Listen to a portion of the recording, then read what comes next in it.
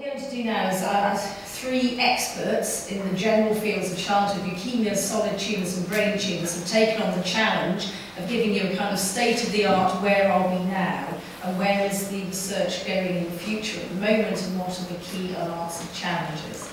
I've asked each speaker to prepare 10 minutes talk so we've got some time for questions after each talk then we're also going to have some breakout groups and plenty of time for discussion in the final session before lunch. Sorry, I forgot my programme. Stand first is Bruce, isn't it? So Bruce, where are you? Bruce is going to come and give us an overview on solid tumours, if that's okay.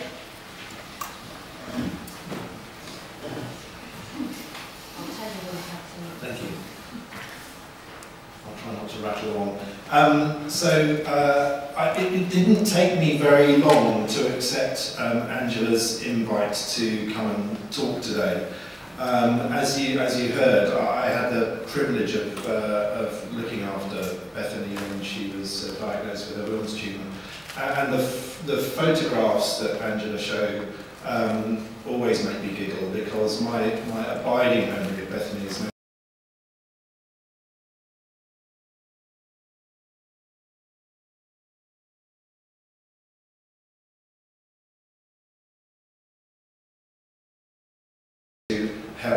to uh, improve the outcome for patients uh, such as Bethany. And as Angela said, you know, Bethany is in that small group of patients who really was in a good risk group of categories who shouldn't have misbehaved uh, in the way that she did. And we sadly lost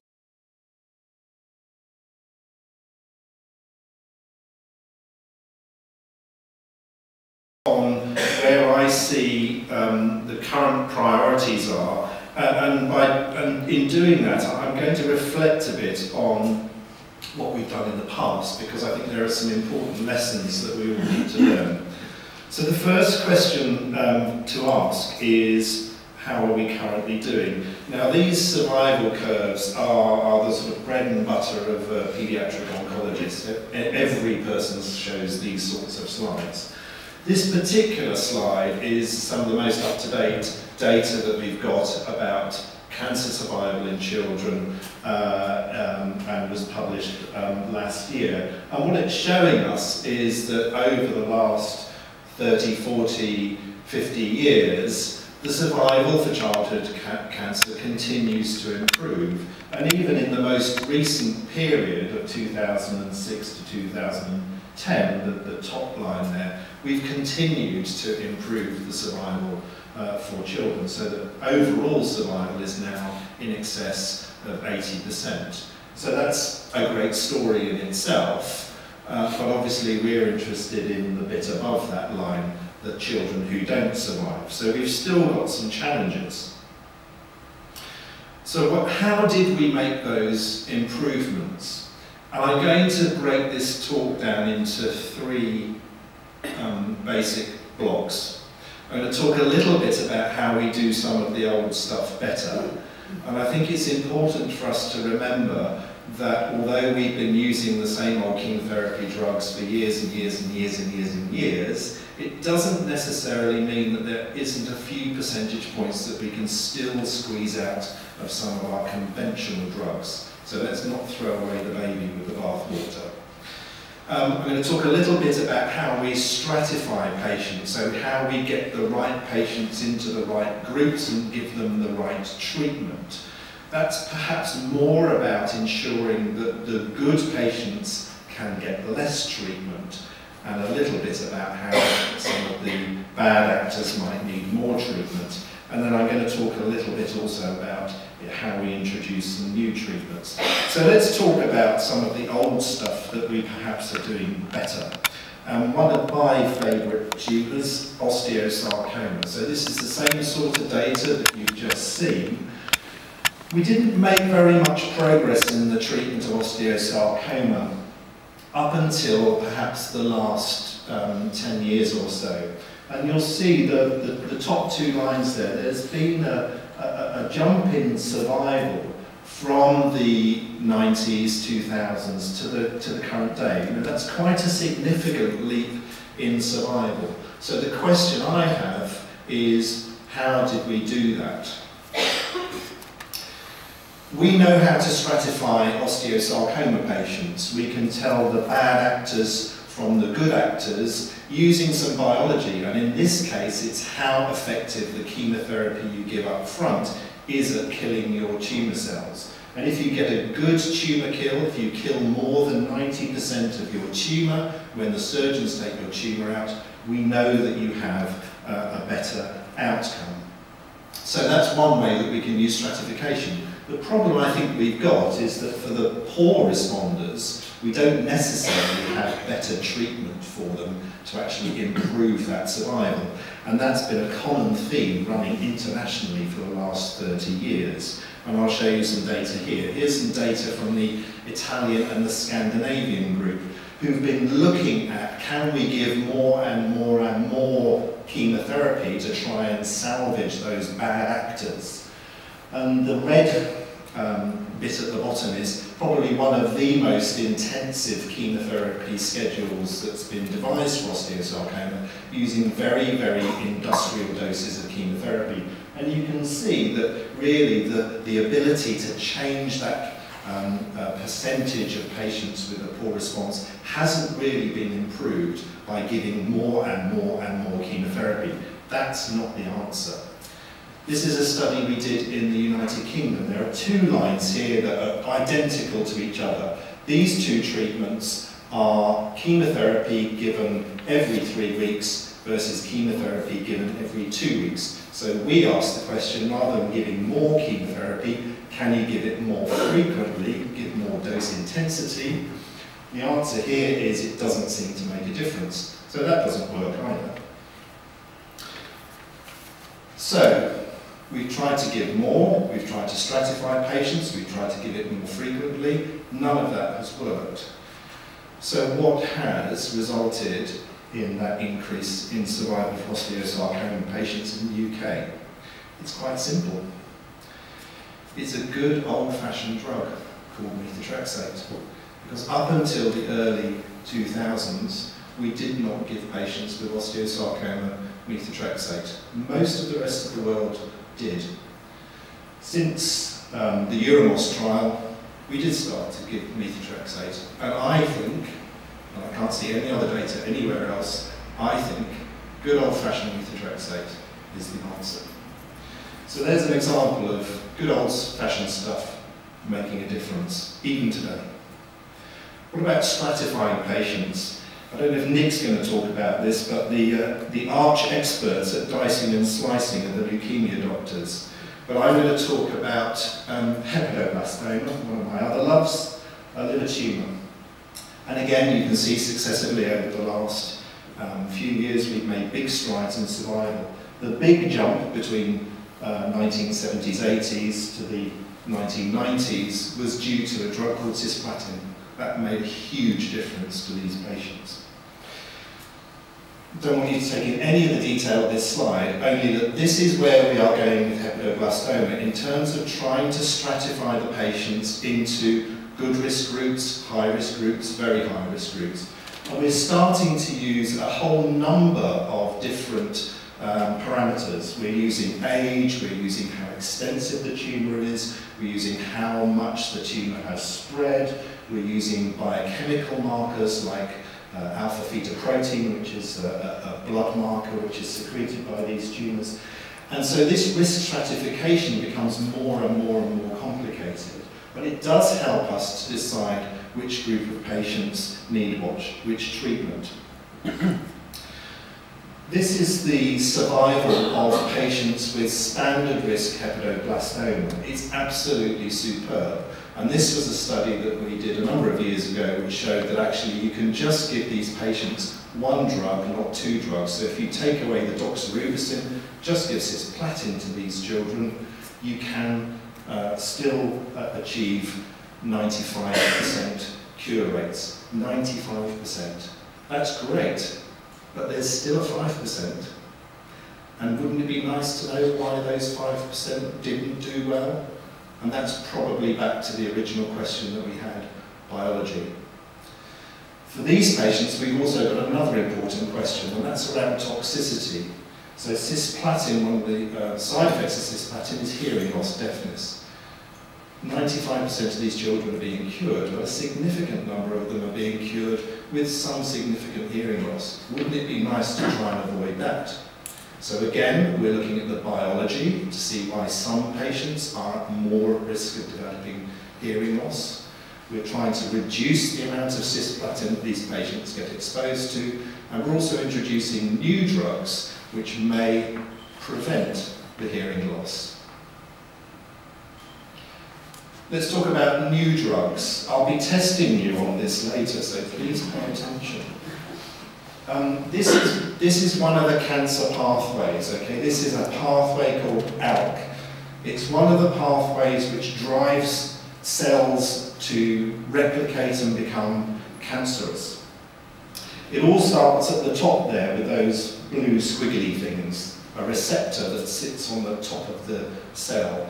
And in a lot of adult cancers, these receptors get mutated, genetically mutated, and they get mutated so that they're constantly sending messages down into the cell to make them divide, make them divide, make them divide. So mutation of receptors in adult cancer practice is a very, very big player, and there's a lot of research going on in that field. For pediatrics, mutation of receptors is not nearly such a big deal.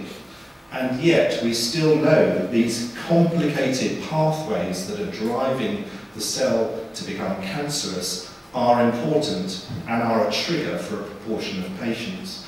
And the reason, the reason we know that is data like this, which basically shows you that in neuroblastoma cells, that ALK pathway is being activated. And if you look at patients who have overexpression of ALK in the blue line, they don't do as well. And we know from other experiments that we do is if you can inhibit the ALK pathway, you can cure tumours. And that's resulted in this drug called crizotinib. Uh, crizotinib is an inhibitor of that ALK pathway. It's one of these novel, new targeted agents that we're all hearing about.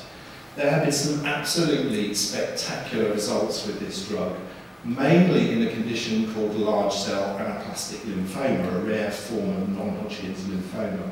But the response rates to this drug are absolutely stunning. But it's one of a very, very, very few number of drugs which are showing this sort of exciting result in children. But we need to do more to find out why these pathways are being activated and how we can inhibit them. So it's all about biology.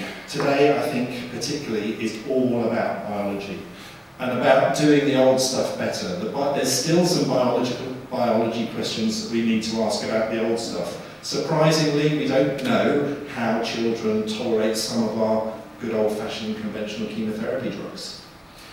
Um, and as I've said, biology can help us and will help us understand why some tumours behave differently to our conventional chemotherapy. Why does one hepatoblastoma seem to respond very well to cisplatin and others don't. Biology will increasingly be used, and certainly in the leukemia world is being increasingly used to help us stratify those patients into the good players and the bad players. And it will help us um, to pick out the, the, the good player who behaves badly. Now the difficulty there is that we still need to find a new treatment for that patient, but hopefully uh, that will come along with it. I've talked about toxicity, and there is biology to be asked about toxicity in the good players. Do we understand why some patients are more sensitive to our chemotherapy drugs? And as I say at the bottom, unfortunately, just because you're a bad actor, and we know that you're a bad actor, it doesn't necessarily mean we've got better treatment for you yet. And then introducing new treatments, I've shown you the example of, uh, of ALK, and that uh, is one example of how doing a lot of the molecular work that is done helps us to identify potential targets which we can then utilize drug therapy against. I think we have to bear in mind that, as I've said to you, that the signalling of the pathway is different between adults and children. Most of the drugs, really all of the drugs that we're getting into children have been tested in adults in a pathway that may be the same, but in an activation is perhaps rad radically different. So some of our drugs that we're testing in children may not show the same effects as we're showing in adults, and that's both ways. Some relatively ineffective drugs in adults actually might be big, big players in paediatrics, and that's a big frustration for us. Um, and we have to recognise that, that the, these molecular signals may change during treatment. So the molecular signal at diagnosis is probably different to that at relapse and during treatment. And again, the leukemia docs have got a lot of uh, experience of this. That brings up some ethical challenges for our patients in terms of it would be nice to perhaps biopsy tumours at regular intervals during the pathway. And I'm not going to talk about immune therapy, but I think this is coming around the corner very quickly in that there are some big, big developments coming around the corner in using the body's own immune system to fight cancer.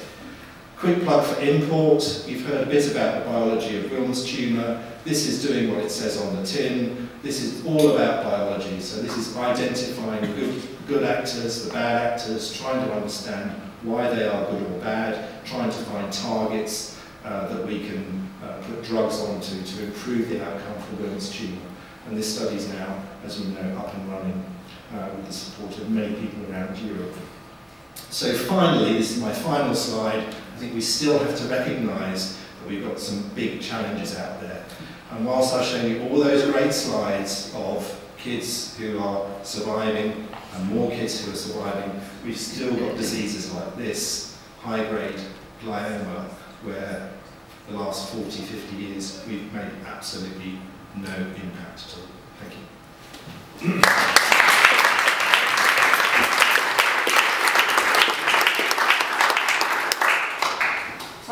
throw open uh, the floor for a few questions. if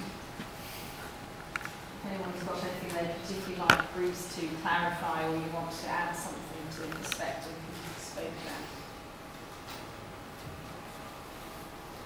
Yes?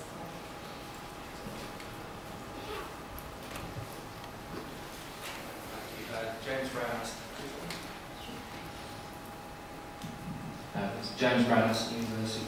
Pretty interesting talk speaking as a biologist, and I'll try not to get too biological in the question, um, uh, in children I think it's more likely not to be a, a, a single nucleotide polymorphism mutation thing, it's more likely to be transcriptomic or epigenetic. Are these things being looked at in your EP7 trial, in your European trial? Because it's more likely to be that uh, in an individual the gene may be switched on even if it's not mutated due to the way the body is handling that gene. Yeah, yeah, I think you're right. I think that so the epigenetics is all about how the how the cells actually how, how the DNA talks to itself and helps itself to, to divide. It is a field of research certainly within within the paediatric uh, community. You've, you've seen how complex just one pathway was, and I think that's our challenge, is that clearly there's a lot of crosstalk between these pathways, and although you can say, well, we know that the ALK pathway is being activated, actually the activation of that pathway may be down this pathway or down this pathway. And uh, it's a bit like, for me, it's a bit like chemotherapy resistance and antibiotic resistance to bacteria. You know, the, the, the cells, you know, that we're dealing with are canny old things and, and they can adapt and change their, um, their characteristics as we go through treatment. Hence my plea for you know, continued uh, uh, biopsies of patients during treatment. But you're right, you know, this is a hugely, hugely complex field, and it's not just one single genetic event which is going to be the, the answer for, for these patients.